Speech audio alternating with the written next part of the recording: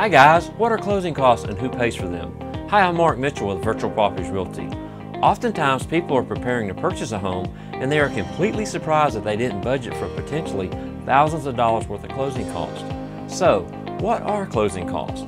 They are various fees that fall into four different buckets. The first bucket is lender fees that include origination fees for processing the loan, appraisal fees, credit report, and underwriting fees to name a few. The second bucket, since we close with a closing attorney in Georgia, are attorney fees, title searches, and title insurance. The third bucket of fees is escrow fees that include homeowners insurance, property taxes, and mortgage insurance. The last bucket, of course, goes to Uncle Sam for transfer taxes, intangible taxes, and recording the deed at the courthouse. These are the main fees when closing a home with a loan. Typically, closing costs are around 2.5% of the sales price. So, whether you are looking to buy or sell a home, don't be surprised last minute that these fees will have to be paid.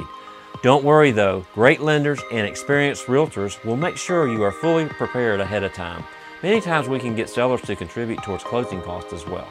If you'd like a detailed list of the typical fees and how much each one of them are, please reach out to me anytime. Lastly, tune in as I have more videos coming this month explaining multiple offer situations and how to win them. Also, three tips to getting your offer accepted.